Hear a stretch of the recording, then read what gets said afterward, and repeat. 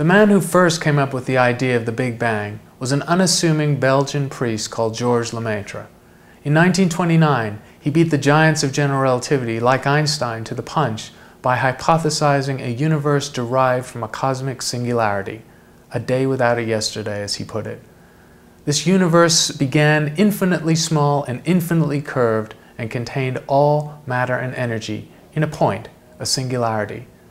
Fred Hoyle, who supported the alternative theory of the steady state, disparaged this model and gave it the name Big Bang, which stuck, and it's used today to describe the current version of scientific belief in the origin of the universe.